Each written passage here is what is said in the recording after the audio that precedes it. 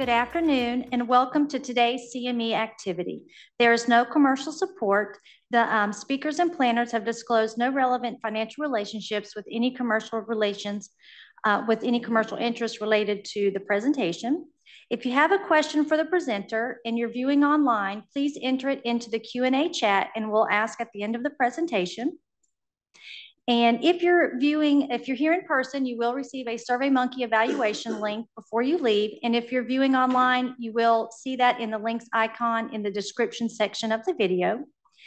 It is my pleasure to introduce Dr. Robert Cotes. He is an associate professor at Emory University School of Medicine in the Department of Psychiatry and Behavioral Sciences.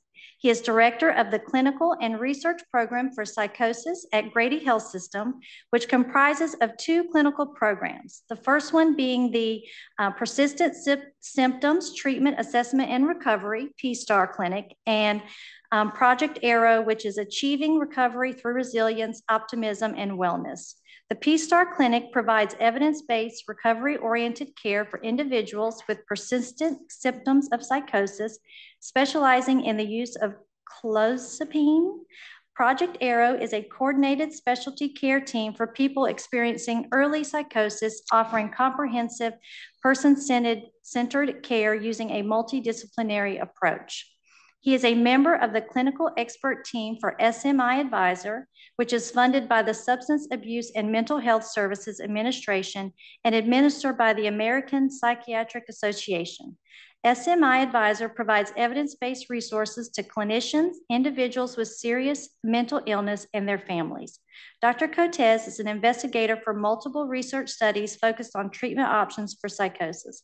His research focuses on clozapine and early psychosis. Join me in welcoming Dr. Cotes. All right. Well, so wonderful to be here. Uh, thanks to Dr. Prasad for the invitation. Um, hello to everyone joining on Zoom. Uh, so I'm really delighted to talk with you all about clozapine. I promise you that ChatGPT didn't come up with the title for this talk, Red Tape to Recovery. That's all me. Um, I'm, I'm really very focused on clozapine. I, I want to, um, I guess, you know, over the course of this talk, I, am I'm, I'm hoping that um, you walk away from this feeling more comfortable how to use clozapine and less sort of hesitant to start clozapine for a new patient who might benefit from it. Um, I, I, work with uh, an initiative called SMI Advisor, which is funded by SAMHSA and is implemented by the American Psychiatric Association. Half of my time as physician expert, and in that role, I do a lot of um, work on clozapine, uh, co-direct the uh, National Clozapine Center of Excellence, and uh, do a lot of psychopharmacology consults, particularly around clozapine and other issues. So, is anybody familiar with SMI Advisor? Yeah, so it's uh, if you go to smiadvisor.org, there's a free um, it's a free website. You don't have to be an APA member. It has a bunch of CMEs. Um, we have a bunch of uh, activities around clozapine and evidence-based uh, psychosocial and pharmacologic interventions for people with SMI. So I really encourage you to check it out. Uh, you can also write a consult. Um, so before I started the talk today, I did uh, three consults um, about all kinds of different stuff, but mostly psychopharmacology issues. We usually get back to you within 24 business hours. All right. Uh, here are some disclosures. Um, none are really relevant to this work. Uh, I'm a consultant to Saladax Biomedical, which makes an immunoassay for clozapine levels which we're going to talk a little bit about. And um, you can see my other disclosures here. We're going to talk about three main things um, efficacy, underutilization, and patient selection. Then we're going to talk about considerations in using clozapine most effectively. And then we'll talk about uh, the red tape part of this, or clozapine REMS, the risk evaluation and mitigation system uh, that the FDA has for clozapine. Um, if anybody has questions throughout the talk, just let me know and, and we can stop and I'll repeat your question and uh, we can uh, address it. And we'll have about 10 minutes at the end for questions. So I think that when you think about uh, clozapine, patient selection is really, really important. And the APA schizophrenia guidelines were published and updated in 2020. And they actually have three places where clozapine uh, f- finds itself um, in terms of suggestions or recommendations. And we're going to go through each of these. So the first two are clozapine's FDA indications. The first one is kind of like treatment resistant schizophrenia, and the second one is uh, to help reduce suicidal behavior in people with schizophrenia or schizoaffective disorder.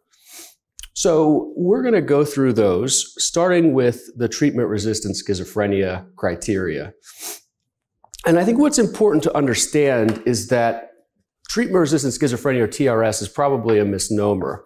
Actually, um, it likely represents a subset of schizophrenia for people whose biology is slightly different, that they just don't tend to respond well to dopamine D2 blockers, conventional dopamine D2 blockers. So we, we really think that um, we would love to see a different name for TRS than what we have now. And a lot of these people are actually clozapine responsive. So it makes no sense that they're called sort of treatment resistant schizophrenia patients. So if you work with schizophrenia patients, you should know that about a quarter of these folks will have treatment resistant schizophrenia. And if you're not thinking about clozapine for a quarter of your schizophrenia patients, then I don't know, maybe you're seeing a different group, maybe you're not. But the literature seems to indicate that about a quarter of patients with schizophrenia have treatment resistant schizophrenia. Uh, and if you look at prospectively at first episode cohorts, um, one nice meta-analysis suggested that the rate of TRS was 23% among uh, recently diagnosed patients moving, kind of looking forward. TRS has an interesting um, kind of uh, natural history. About 60% of people with TRS actually develop TRS right after the onset of uh, psychotic symptoms. And they just don't tend to respond well to antipsychotic medications. The other 40% likely develop TRS over time. And that means that there may be some component of dopamine supersensitivity that leads to um, antipsychotics not working as well for them. These are the people who are going to start antipsychotics, stop antipsychotics, uh, maybe have relapses. There may be something to um, that stopping and starting thing that may lead to the development of TRS actually. Some research criteria um, from the TRRIP working group was published. Um, and, you know, I think that a problem is getting caught up in the details of the TRRIP uh, TRS criteria. We kind of deal with this in the research side a little bit more, but the main thing to know is that these are people who haven't responded adequately to two antipsychotic medications despite taking the medication. Okay, and I think that even recently, Data from the optimized study suggests that even after one antipsychotic failure, the likelihood that somebody's going to respond to a second one is quite low. Um, so, you know, as you heard in the introduction, I run a first episode program. We talk to people about clozapine quite a bit after the first antipsychotic failure, uh, and it's on their radars. I think I have about um, you know, a, a, number of patients on clozapine in our early psychosis program. And actually, early psychosis programs are really the best places to really calculate the number of antipsychotic trials and, and um, you know, provide early access to clozapine. Clozapine is really the only medication that you would expect to work for people with TRS. Like you could give people other medications, but it just turns out that they're not all that effective you know, the 10% atypical antipsychotics is really more like 7% for high dose olanzapine. Uh, other atypical antipsychotics are unlikely to work. Clozapine doesn't work for everybody. Clozapine probably works for about half of people will have, you know, meet response criteria, um, significant reduction on a PANSS or something like that. And then we know that clozapine is going to be more effective for short term and long term uh, for people with TRS. It's also the most effective antipsychotic medication for people with schizophrenia, not just for TRS. And then patients, if you ask them, uh, prefer being on clozapine in comparison to the other antipsychotics that they've been on. Tips for identifying TRS patients. So it makes pretty good sense that if a medication is not working for someone, they might be unlikely to take it. So when you see people on the inpatient unit, one of the things they come in most commonly with with schizophrenia is a recent lack of medication adherence. And the knee jerk reaction is to simply restart them on an antipsychotic they were taking before. But what you need to really think through is did they have a degree of uh, positive symptoms, particularly once they were taking the antipsychotic medication they were prescribed? So we often, you know, really focus on when people are on LAIs, did they have a component of persistent symptoms at that time? Um, you know, in our early psychosis program, uh, we were involved with a study called the Prelapse study that looked at um, long-acting aripiprazole for first episode patients that found, you know, significantly decreased risk of relapse. So we use a lot of LAIs in our first episode program. And it turns out that, you know, if people are having persistent symptoms on an LAI, it's a great clue that they're a clozapine candidate. Also, some people are very sensitive to extrapyramidal side effects. Uh, that's another clue. Um, okay, let's talk about a couple of other clues here. Um, as far as who responds well to clozapine, it turns out that the earlier you introduce clozapine, the better off people are going to end up doing. So, um, in North America, people are often they often have pretty significantly delayed time uh, until they get clozapine, five to nine antipsychotic medications. We need to make that two, two antipsychotic medications. And you can just see the delay. If the delay is less than 2.8 years, the response is about 80%. If the delay is more than 2.8 years, the response rate is much lower, 30%.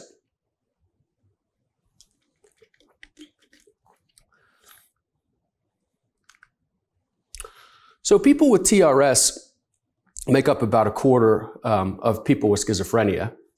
And then about 4.8% of people with schizophrenia are on clozapine in the US. So we like to call this 18% the clozapine underutilization gap. The only way we're going to um, fix this is by starting new patients on clozapine. You may continue clozapine for people that have been started on it elsewhere, which I think is good, but it's the new starts that really matter in closing this gap. And we're going to talk a little bit about some considerations for how do you start clozapine for folks. Okay. Does anybody have any questions so far on TRS? Identifying TRS patients. Okay. So, the second um, guideline uh, recommendation for clozapine use is schizophrenia or schizoaffective disorder patients who are at high risk for suicide or have had suicide attempts. It's an FDA package insert. Um, and, you know, overall, people with schizophrenia are just much more likely to um, complete suicide. Some people would say the lifetime risk is around 5%. Some studies even say as high as 10%. Suicidal ideation, suicide attempts is common. Um, up to 40, 50% of people with schizophrenia will have a suicide attempt. People are more likely to commit suicide early in their, um, early after the diagnosis. And we know that from the InterSePT study, uh, clozapine was associated with far less suicidal behavior than olanzapine was in a big study. Um, this has also been seen in naturalistic studies um, in which clozapine was the only antipsychotic associated with decreased risk of suicide. We recently published a study um, looking at, that kind of did a, a, a, different sort of methodology because suicide is a hard thing to study. Uh, it's a fairly, fortunately, it's a fairly rare outcome. And if you do sort of randomize people and then look prospectively, it's a, it can be difficult. So we looked at a group of, um, we, we looked at the uh, Maryland office of the chief medical officer for people who had died. And interestingly, in the state of Maryland, they get therapeutic drug monitoring for everybody, uh, you know, who, who is um, possibly taking an antipsychotic. So you get levels of everything. Uh, very rare. And we found that people um, were much more likely to die by suicide when olanzapine was in their system in comparison to clozapine. And that's using accidents as a uh, comparison. So it's sort of a, a new way of, of, looking at this. Um, check it out. This was published a couple weeks ago in Journal Clinical Psychiatry. And I think it's just sort of more converging evidence that there's sort of a, um, an anti-suicide benefit for clozapine. This is the clinic that um, we developed in 2012, which focuses on clozapine. It's called P-STAR. Uh, we've had 500 referrals since 2016. And then only 4% have been referred for suicidal behavior for people with schizophrenia or schizoaffective disorder. Most of the time, 95% of the time, it's TRS or second opinion. So put this on your, um, you know, put this on the map of something to consider for clozapine patients you know, there is a, a very clear um, body of literature that suggests that people with schizophrenia are much more likely to die prematurely than those in the general population 20 years, 15 years. But it turns out that people on clozapine actually um, have a significantly decreased mortality risk compared to other antipsychotics, which is interesting because clozapine has some of the most significant cardiometabolic side effects. So part of this could be related to clozapine's anti-suicidality benefit. Um, also, what you see is when people's positive symptoms are better controlled, they tend to, you know, engage more in life and kind of do the other things that might help to reduce mortality. Socialization, exercise, things like that. Okay, now for the third time, which you can consider using clozapine um, when the risk of aggressive behavior remains substantial despite other treatments. This is slightly lower uh, level of evidence than the first two, but can be quite beneficial for people who are quite aggressive um, or have, um, you know, maybe maybe attacked um, people on the inpatient unit. We've seen seen the use of this in state hospitals for this sort of purpose. There's actually a big R01 right now looking at this um, from NIMH. Um, some of the literature that kind of talks about this is um, physically assaultive schizophrenia patients were randomized to clozapine, olanzapine, or haloperidol. Clozapine had significantly less um, assaults uh, for those who were on clozapine. And it's more, it, it's not just sort of a sedation effect. Olanzapine pre-sedating. Those with conduct disorder um, before the onset of schizophrenia, uh, it, it, turned out that that even had a higher likelihood uh, for clozapine to be helpful for. Okay. Any questions on when to use clozapine? Another group I, I, really think about a lot are there, these, there are these folks who you might be seeing in the outpatient clinic who are just like not really kind of getting to accomplish their goals. They're like just on the precipice of doing what they want to do, but something's holding them back.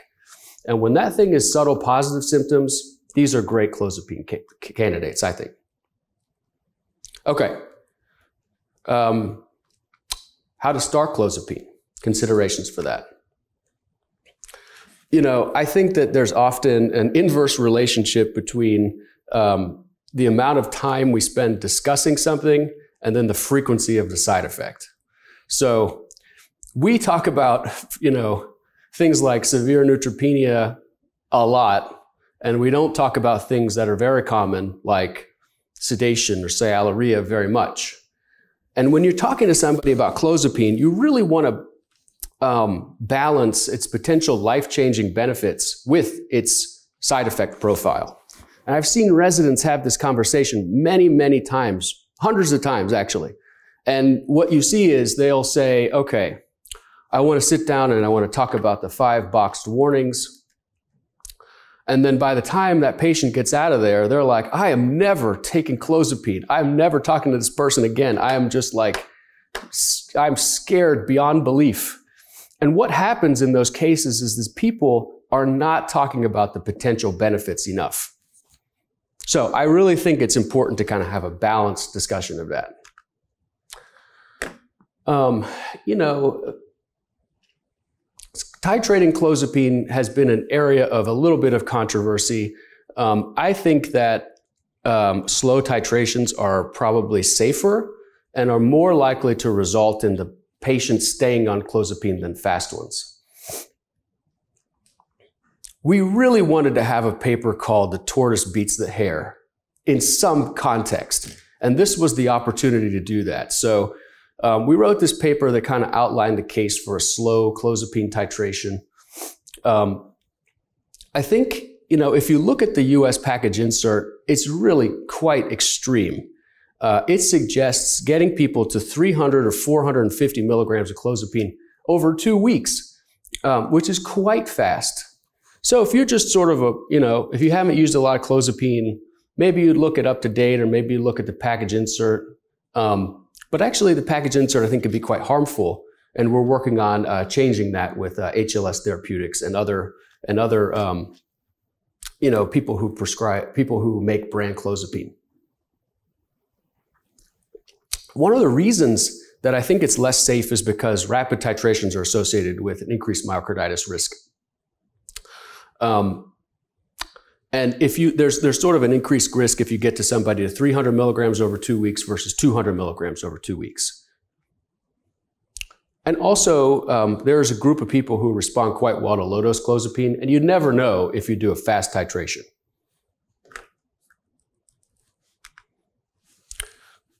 If you look at various published, you probably can't see the x axis from where you are, but the bottom line is that the US package insert is probably a, a, an outlier in terms of titration speed for clozapine, and that most published sources suggest a slower titration. Um, let's see. So the one that we have on SMI Advisor suggests uh, 200 milligrams over two weeks. And that's usually what I recommend to people. And that's on an inpatient schedule. So inpatient titration should be faster than outpatient titrations.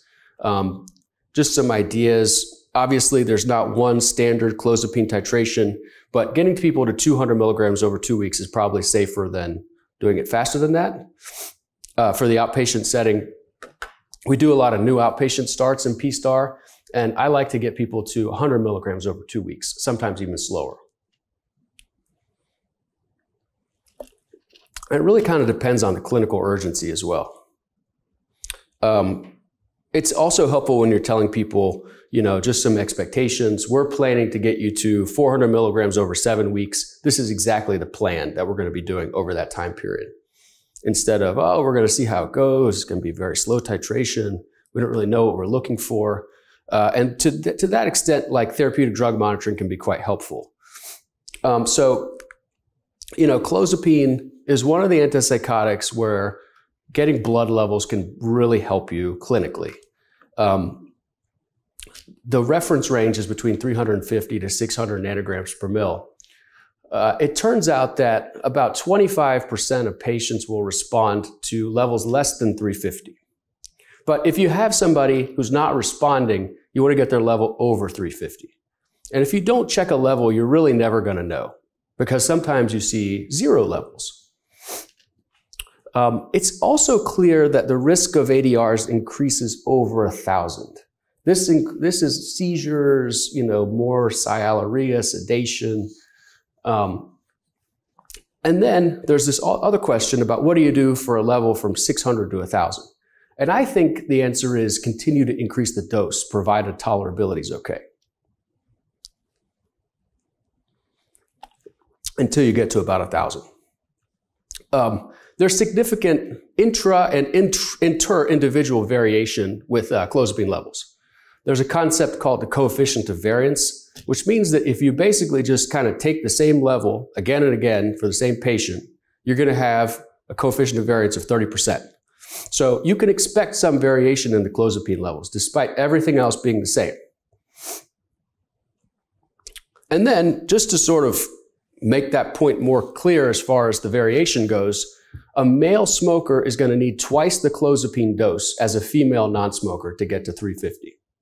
This is different than just sort of giving everybody four or six milligrams of risperidone.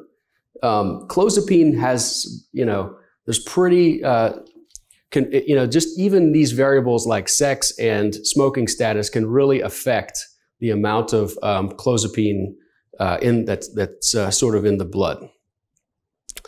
Clozapine is metabolized uh, primarily by CYP1A2 in addition to other enzymes in the CYP system, uh, 3A4, 2D6. There's differences in how much each of these isoenzymes are used, but most people use a lot of CYP1A2 to break down clozapine into norclozapine. Norclozapine has a slightly longer half-life than clozapine does. So sometimes we look at the metabolic ratio. Uh, so divide the clozapine level by the norclozapine level, and it gives us some kinetic clues. Like if the metabolic ratio is less than 0.9, it means that the person's probably a smoker or they're ultra rapid metabolizer at 1A2. I think that also in, in sort of COVID era, we've learned a lot about infection and how that affects blood levels of uh, antipsychotic medications. If somebody has an infection, it's going to increase the clo- it's going to increase the level. Um, specifically, one which they have a fever. Uh, it's it's likely uh, we've seen it again and again with COVID. Um, anybody any anytime comes into the um, emergency room, we recommend getting a clozapine level immediately because uh, sometimes you see high levels, sometimes you see low levels. Uh, obviously, um, smoking can decrease the levels. And it's the aryl hydrocarbons in smoking that does that, not the nicotine itself. So vaping, patches, none of that affects clozapine levels. It's the smoking the cigarettes, smoking cannabis and the smoke that's produced causes that reaction.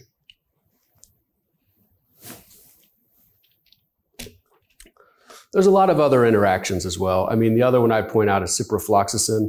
Like, don't let the clozapine patients get ciprofloxacin. Uh, it's going to increase the levels. It's a strong CYP1A2 inhib- inhibitor. Reports of toxicity and even fatalities from that combination. Choose a different antibiotic. There's plenty others. Okay. A lot of places where you can get TDM, where it makes sense, um, uncertain adherence, lack of response, um, adverse drug reactions, when there's other inducers or inhibitors on board, the young, the old, um, people who are pregnant, switching from different preparations. These are all justifiable reasons to get an antipsychotic level. One antipsychotic level gives you just one antipsychotic level. Get at least two to three to establish a baseline. And then you can kind of see where it goes.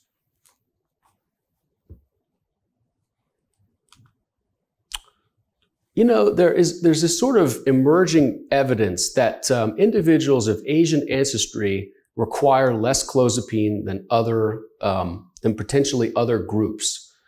And our colleague Jose De Leon has been very interested in this, and he did a systematic review that found that the CD ratio was, um, you know, significantly greater in stable clozapine patients uh, of Asian ancestry versus those who are Caucasian. And there's been a recent publication uh, looking at six ancestry-based titration schedules um, for people who take clozapine based on sort of their racial ethnic status and then their metabolism status. So um, we've de- we've definitely seen cases where um, some patients of Asian ancestry have been prescribed clozapine and they've given and they've been given doses way too high without levels, and uh, it's led to um, you know toxicity, other bad outcomes. Yeah, so when do you get the first level? We like to get the first level at about 100 milligrams. And then we talk to the patient and kind of cross titrate with them, kind of a suggestion for the other antipsychotic, antipsychotics, because uh, there's often a few on board. Uh, we like to usually stop, um, you know, the most clozapine-like antipsychotic first. Uh, so it's often Zyprexa, which we'll stop first, and leave on the paliperidone or leave on the risperidone sometimes leave on the leave on the aripiprazole. Um, so pretty much the more antihistaminic or cholinergic it is, the more likely we are to stop that antipsychotic first if there's more than one. Uh, shameless plug for the clozapine dose planner from SMI Advisor. Uh, this is a tool that you can check out smiadvisor.org backslash clozapine dose planner. And you can select if somebody's a smoker or a non-smoker, male, female status, what their weight is, their age, what the clozapine dose is, and then it'll predict the clozapine level for you. Or if you know what the level is, it will predict the dose. And this is sometimes helpful if you're, um, you know, trying to figure out what, what dose do I need to get to somebody for 350 nanograms per mil. So when I start a new clozapine patient, I typically will pull up this calculator, put their variables in, show them and say, for you to get to 350, a level of 350, you're going to need X dose. This is how we're going to do the titration. And this also kind of populates in real time, so you can like change it with the sliders and you can kind of see how the concentration is affected. Um, there's other, um, you know, sort of PK um, modeling uh, algorithms out there, especially that have been published recently. But this is one uh, that's been um, pretty widely used. It's just an approximation. Okay. Um, before we go on, questions about TDM, clozapine levels.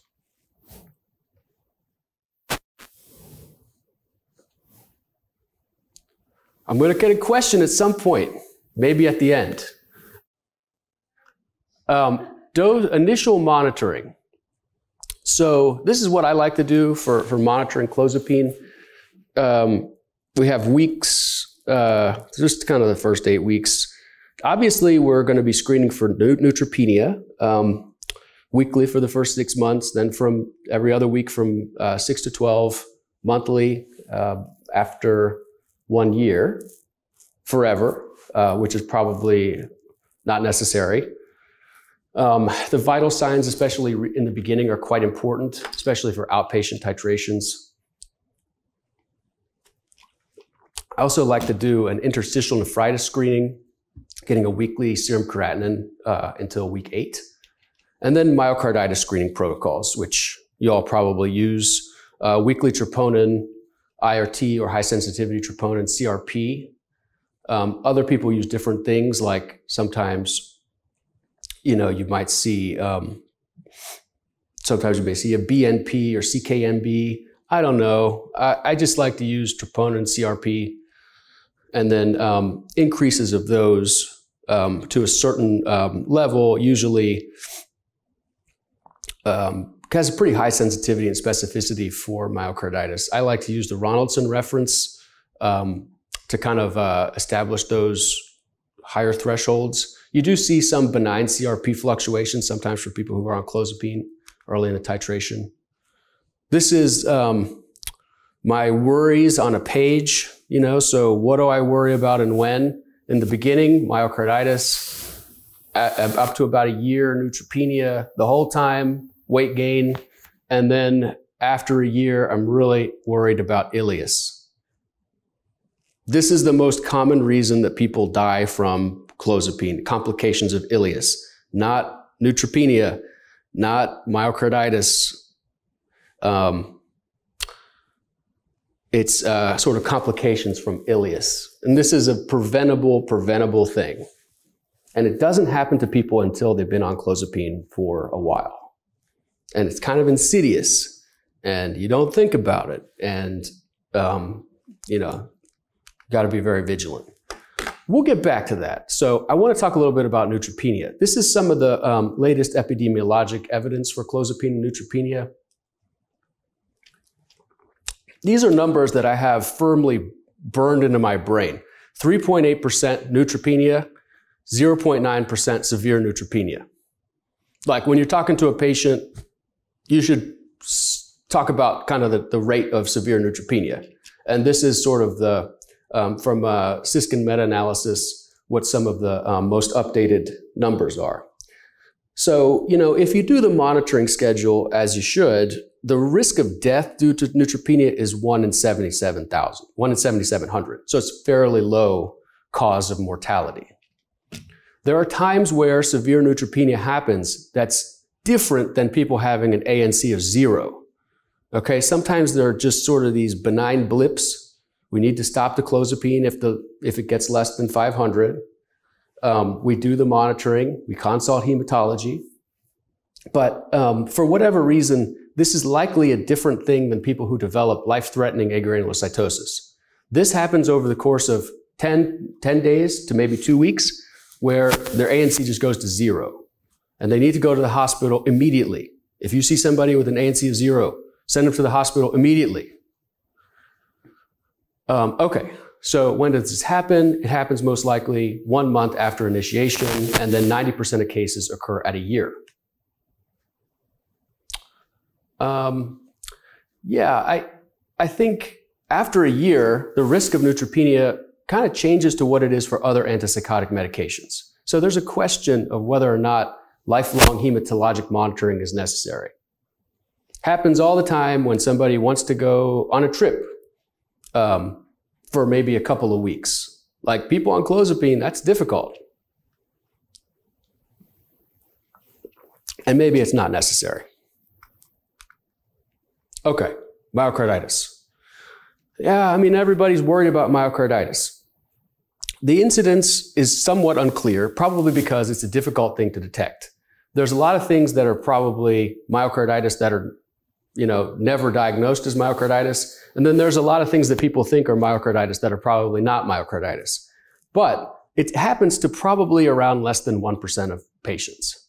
Uh, our colleagues at uh, MCG did a study looking at myocarditis, and they found the, ri- the risk was about 4 to 5% in clozapine new starts of presumed myocarditis. That's a increase in CRP and troponin. But not all of these were confirmed myocarditis cases. The problem is that myocarditis looks a lot like a regular clozapine titration. So basically, you are seeing, you know, low-grade fever, nonspecific symptoms, fatigue. Um, but then if people start talking about chest pain, palpitations, shortness of breath, um, signs of heart failure, then like you probably need to get more worried. Always ask about this. Try to get vital signs as often as you can, specifically for outpatient titrations. We like to do this for the first eight weeks. The median time, as listed here, is 17 days. So it's really an early phenomenon. The um, diagnostic choice, the diagnostic test of, of choice is a cardiac MRI. And uh, it's hard to get cardiac MRIs for people who have suspected clozapine induced myocarditis. Echoes don't really help you, but probably try to get one. Sometimes you see, you know, evidence of decreased um, ejection fraction. Um, and we've written a lot about uh, successful myocarditis rechallenges, especially like where it was sort of a, you know, not unc- unclear if it was really myocarditis in the first place. Um, okay. Ileus. Yeah. So, you know, clozapine is um, due to its anticholinergic effects in the colon and throughout the gut, very, very, just slows everything down slows the upper GI tract down, slows the lower GI tract down. People have a massively increased colonic transit time who take clozapine.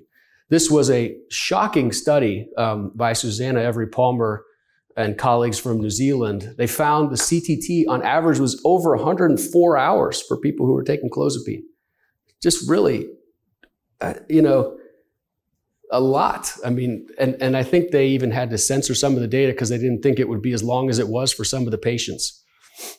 Um, so it occurs likely in a level dependent fashion. The median time to developing ileus was 1500 days. Um, so it's the people who are doing well that you don't really think about have an issue. And then clozapine is associated with, um, you know, a 2x increased risk of ileus, 7x increased risk of fatal ileus. If you add anticholinergic on this, you're going to really kind of see that also expand further. So like don't give your patients on clozapine additional, you know, cogentin or benztropine or Benadryl, you know, like it's just not necessary. Clozapine is the, it is the, the, the, you know, ace of anticholinergic activity, you know, like people might be reluctant to part with their benztropine, but they don't need it, you know, um, clozapine's doing all that for them. So you might ask, well, why does clozapine then cause sialorrhea if it's so anticholinergic?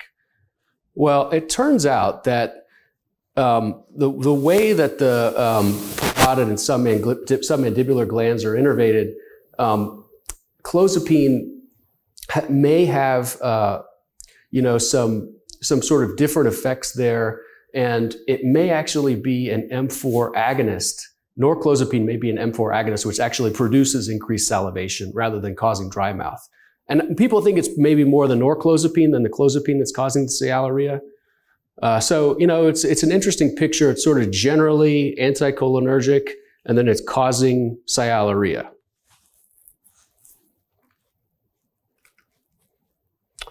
Um, this is a management protocol from the state hospital in California that we like to use um, for people who take clozapine. Everybody needs to be on uh, prophylactic docusate um, and, and possibly uh, Senna. We have a very low threshold to add polyethylene glycol and Miralax. Um, we sometimes use that up to three times a day.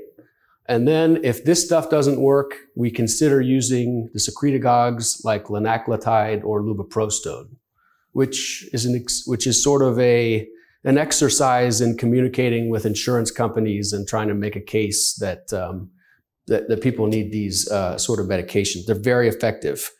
Uh, so these are things like um, Linzess or Amitiza that have been looked at for uh, chronic opioid-induced constipation. They're great for clozapine-induced constipation.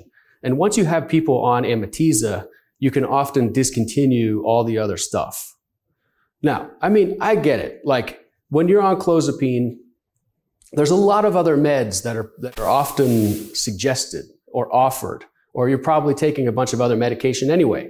And like adding the, the regimen, the bowel regimen, um, shouldn't ever feel like an afterthought. I mean, this needs to be, so when I start clozapine with people, I tell them, look, I want to prescribe the minimum amount of medication possible, but I'm just going to tell you, it's going to be more medication than probably either of us would like. We're going to be doing something for constipation. We're going to probably be doing something for sialorrhea. You may get a beta blocker for tachycardia. Um, th- there's a lot, but really the bowel regimen is probably one of the most important things.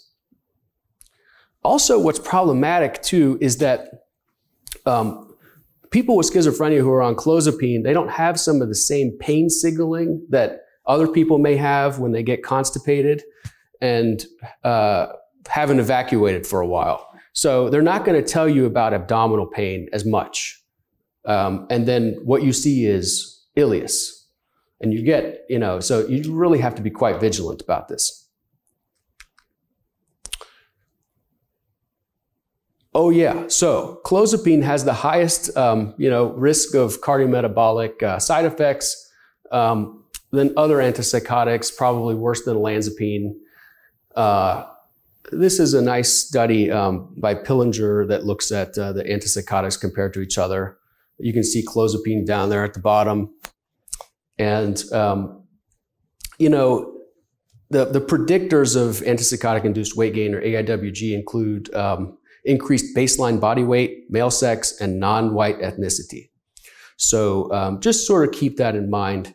You see rapid weight gain with clozapine for some people very early on in the titration, like even on the inpatient setting. I like to make sure we get weights for people on the inpatient unit. And you'll see that sometimes for clozapine patients, when they're discharged, they gain 15 pounds. Um, so you have to be quite uh, vigilant about this. What do you do? Well, you know, you want to make sure that there's nothing else on board that's giving them issues, like um, valproate. That's the really, really common one that also causes pretty significant weight gain. And it's also associated with other sort of hematologic issues when prescribed clozapine. I don't like to use uh, sodium valproate if I can avoid it for clozapine treated patients. Um, yeah, so, you know, sometimes it helps to tell patients that we think that weight gain occurs uh, due to uh, dysfunction in satiety signaling. So, what happens when you take these is they just cause um, increased appetite. You don't get the signaling that you're full. You keep eating, you keep eating. This then leads to all the other downstream complications of increased weight. So, some people, it kind of resonates that if you, if you just sort of eat the regular caloric intake, you are unlikely to gain weight. The, you know, clozapine does this by increasing appetite, increasing caloric intake. It's not, it doesn't decrease the, beta, the basal metabolic rate. Uh, so we start everybody on metformin that will, um, that will take it. We try to get people to two grams of metformin per day uh, who take clozapine, just as a starting place. Um, and then there's the GLP-1 agonists. So many people have come to me and said, you know, uh, I want to be on a GLP-1 agonist. This is, you know, semaglutide or tirzepatide or liraglutide. And these medications have not been studied all that much for clozapine and AIWG. There's some case series, but they work extremely well. And, incre- and I, increasingly, we've been using GLP-1 agonists to help mitigate AIWG with um, impressive results, uh, particularly with tirzepatide. Uh, so there's like a dose-dependent effect with tirzepatide. Um, and I think once you get people to 15 milligrams of tirzepatide, you really see a lot of weight loss. Um, there are other issues uh, to consider with GLP-1 agonists, including the GI side effects. So you really have to kind of titrate them slowly, uh, keep a close watch. It's an off-label kind of thing. Um, many of people with um, who are on clozapine already have an increased BMI and one other uh, sort of condition like hypertension, and that's like a you know a, a, that's sort of the FDA indication for using semaglutide. So uh, sometimes we've started for that. Um, also for your type, type 2 diabetes patients who are on clozapine, um, sometimes um, the diabetes isn't managed adequately and uh, they could benefit from a GLP-1 agonist.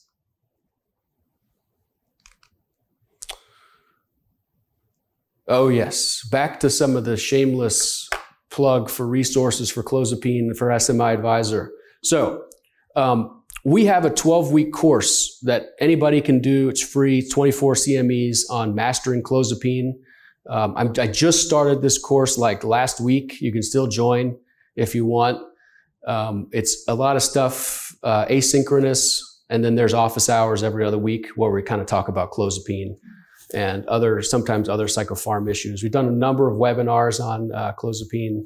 We have a list serve that talks about clozapine. We have a consultation service on clozapine. And then you can check out the clozapine dose planner. So a lot of really great stuff on SMI Advisor. Um, and then also we have kind of a clozapine center of excellence where we talk about sort of, um, you know, modern issues regarding clozapine management. So one of the things we're working on is a video that tells people how to administer um, atropine to manage sialorrhea and also how to use ipratropium bromide for uh, sialorrhea management. Because a lot of times, like, you know, people just kind of say, oh, well, here's the ophthalmic atropine, but there's actually a pretty, there's a, there's a, a way you can use this which is more effective. Um, okay. Clozapine REMS. Anybody in here use clozapine REMS? Yeah. All right. So, you know, clozapine REMS um, is basically part of the, it's called an ETASU system from the FDA, which means that you have to do something in order to get the medication. You have to update the REM system. And, you know, in 2015, there's a shared system that was implemented. We used to have different pharmaceutical manufacturers of clozapine, and we would have to fax the lab work to the individual pharmaceutical manager, to the individual pharmaceutical companies. So you had to know like which brand somebody was getting. Um, I had a fax machine in my house. I was one of the last people I was told by the phone company that had a fax machine in my house. Um, I had it until like a couple of years ago. It was really, yeah, it was sort of a lifestyle thing, kind of maintaining all the faxes. But now we don't need to fax anything anymore. It's all done electronically. You can kind of submit PDFs. It's really quite easy. Uh, you can use Doximity if you really need to fax something. Um, and then there were some changes that were made in 2021 that really made clozapine REMS maybe even more difficult. But just keep in mind that um, the, the FDA uh, the full implementation is not um, completely in place. And the, the language from the FDA is they don't tend to object um, if there's not a REMS dispense authorization currently. So for those of you who haven't registered, go to clozapinerems.com. You have to attest that you've reviewed the prescribing information. Um, you then kind of read through a, a guide for um, healthcare professionals. You go over this decision tree for hematologic monitoring. There's also another uh, quite useful one for benign ethnic neutropenia, uh, which we can talk about if you all like at the question section. And then you answer 12 question multiple choice question, uh, knowledge assessment, complete a brief enrollment form. The whole thing takes like 10 minutes to register. And then once you do that, um, you then have the ability to enroll or transfer patients onto your clozapine REMS list. And our job is to maintain the patient status form, which looks like this. Um, and there's actually some improvements with the patient status form than there used to be. Uh, and for the for the attendings, we're actually able to change the frequency of monitoring based on what we think the dates are, rather than have the clozapine REMS do that for us, which is quite useful. Sometimes maybe somebody will get clozapine in a residential facility. We know the start date um, but we don't necessarily have all the blood work. We can change it ourselves. Also, there's circumstances which you can say the patient refused, the clinician discretion, we don't have an ANC for this month. Uh, there's a number of ways in which they actually give you a little bit more flexibility. There's a lot of challenges with clozapine REMS um, and the APA and um, other stakeholders, including NAMI and NASMHPD and National Council are all sort of working to address these issues with clozapine REMS. Um, one of the biggest challenges is that, you know, patients do a lot of different things. They may go to a different pharmacy. They may go to a different phlebotomist. You have to look at your own EMR. You have to look at LabCorp. You have to look at Quest. Um, some pharmacies require a fax. Some pharmacies just look at clozapine REMS, which is actually all that's necessary. Um, if somebody goes out of town, you have to have somebody to help you with clozapine REMS. So there's a lot of issues with it. And I just want to talk about some changes that we are considering, um, some changes that we are actively advocating for. And you know, some of that is just easy stuff like making clozapine REMS website like a little more user friendly. Another one, which I think is would be really great, is if clozapine REMS went from an ETASU system to an educationally oriented REMS like buprenorphine.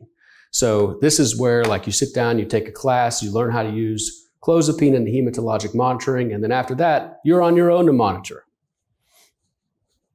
Um, also, you know, the, the prescriber reimbursement paradigm um, for these patients who often have a lot of other comorbidities is uh, you know, there's a lot of extra stuff that's involved, like managing the clozapine REM system. And you don't really get paid for that. You don't get really RVUs for that. But I think that you'll see that, you know, if you do this a lot, you're really going to make a difference for people and you're going to see them uh, do well and recover. And that's um, a very rewarding process. Uh, I would also say the other thing is um, we would really like to convene a scientific review to end lifelong hematologic requirements and then stop the monitoring after 12 months or 18 months. That way, you know, if clozapine, if somebody who's on clozapine wants to go out of the country for two months, like they can, you don't have to worry about finding them some sort of lab in a different country.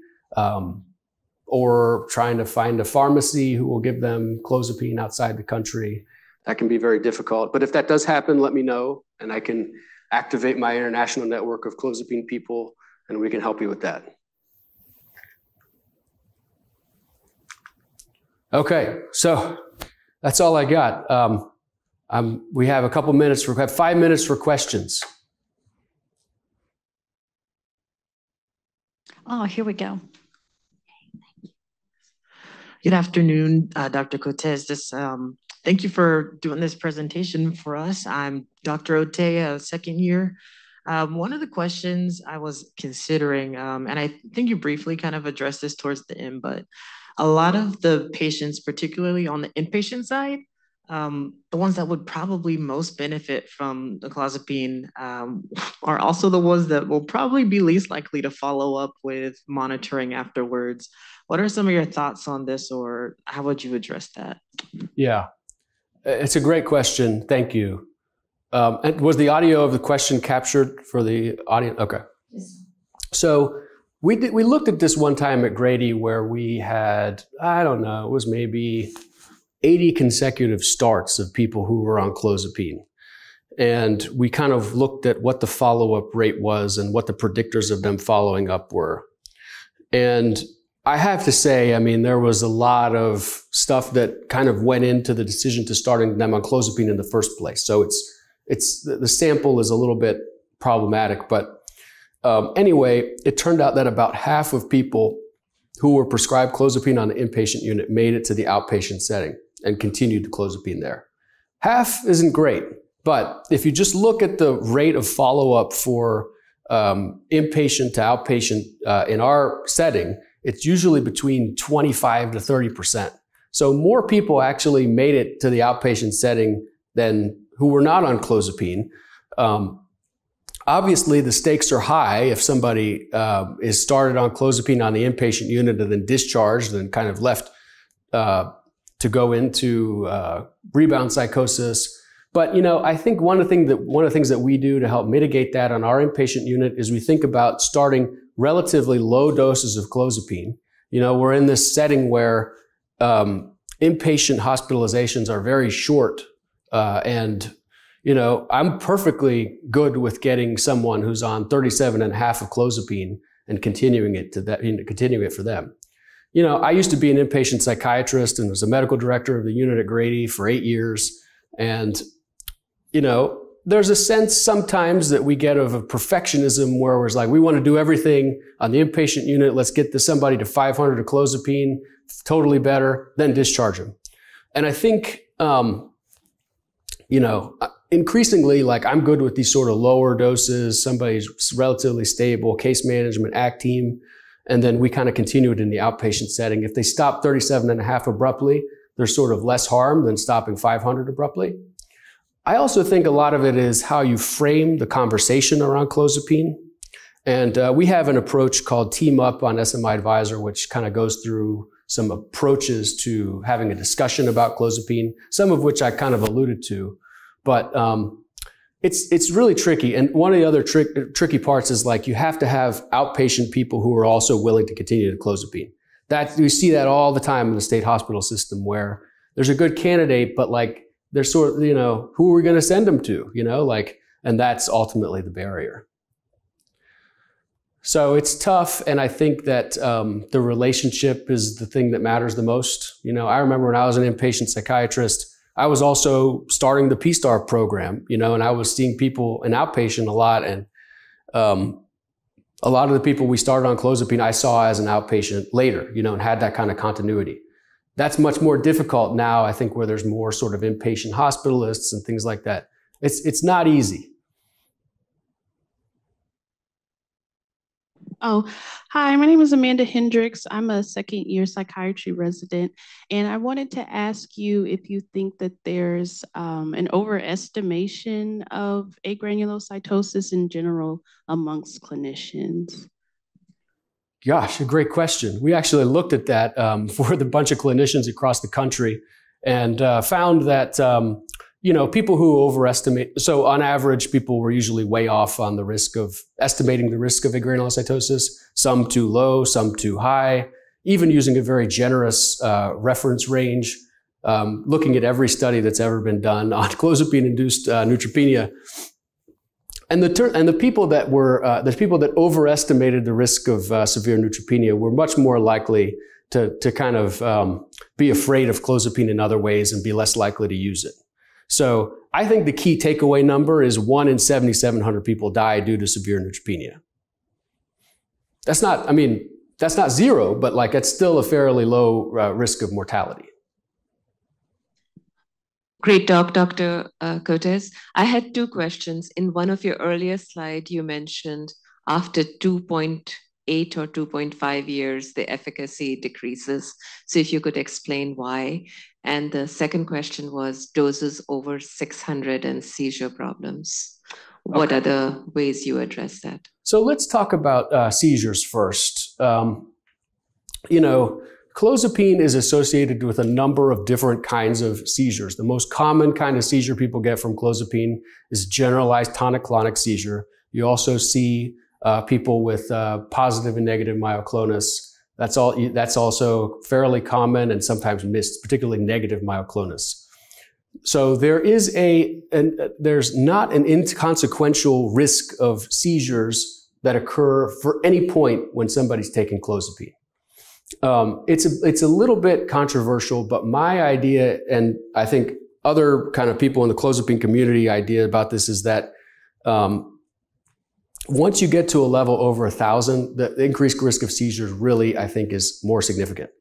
There used to there there are people who think that once you get over a level of 600, maybe adding an AED prophylactically.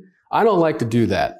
I like to add an AED um, after people have had a seizure from clozapine, or if their level is over a thousand and they have uh, sort of other risk factors for seizures. It's also really important to, if somebody has an underlying epilepsy, to make sure that that's appropriately treated. I think that the risk of just sort of adding an AED like sodium valproate is, um, that's also a risk, you know, and, and it can, you can see um, thrombocytopenia. Uh, you, it's kind of a double whammy from a cardiometabolic standpoint. Um, so I don't routinely use AEDs uh, with levels over six, 600 or doses over 600. Um, and, and, you know, most of the time, the reason that a seizure happens is there's some sort of pharmacokinetic issue. Like somebody stops smoking and you don't know that and their level goes up and then they have a seizure and you see it in care everywhere or wherever, you know, and you're like, oh, wow, okay. Um, I wasn't aware of that. Um, so and also like if inducers, uh, or I guess more in this case, inhibitors are added without your knowledge, that's another kind of major risk factor for seizure. Uh, to your first question, um, this is about uh, why is clozapine less effective later on in the illness? And let's go back to that slide because there's a couple of ideas why this might happen. I mean, it's it's really hard to say um, first of all, if the group who's been introduced to clozapine earlier or later is the same group. And then biologically, is there something different the longer you're waiting to treat TRS um, in, the, in the group that's been kind of longer delayed? Like what degree of dopamine supersensitivity is happening over time? What agents have people been getting? How much have they been stopped? Just, and then just sort of the underlying, um, I think, um, you know, sort of biological mechanism in each of these buckets, there's probably different ones. You know, I think that there's some people who are just, you know, they need um, clozapine right after they have an onset of symptoms. Other people need it more over time. Um, other people need clozapine and a second antipsychotic that has a little bit more dopamine blockade. Um, we didn't even talk about UTRS or sort of um, super resistant schizophrenia, clozapine resistant schizophrenia which is an entirely other sort of field. I think it just speaks to the heteroge- heterogeneous nature of um, schizophrenia and TRS sort of in the first place. I will also say that um, you know this this finding also needs some replication. Like this is this is one study in one place. Like I, I it's a it's a hard thing to compare. Um, so I think more work like needs to be needs to be done in this area. I like to advocate for early clozapine starts, less mucking around with other antipsychotics and polypharmacy. What are your thoughts about early onset schizophrenia before age 18 and starting Clozaril? Yeah, so I think one of the predictors of good clozapine response is um, is actually early age of onset, and Judith Rapoport's cohort at NIMH, NIMH with uh, childhood schizophrenia, those diagnosed with um, schizophrenia at age 13 or less, many of these people wind up on clozapine. So I, I really think that early onset um, is is a, a, really pretty robust indicator, especially early early onset, that somebody's going to need to be on clozapine. And you have to really kind of think through, you know, is is that is, is what we're seeing schizophrenia? Is it something else? But there is a there are a handful of people who develop schizophrenia at age 13 and many of these people just need to be on clozapine.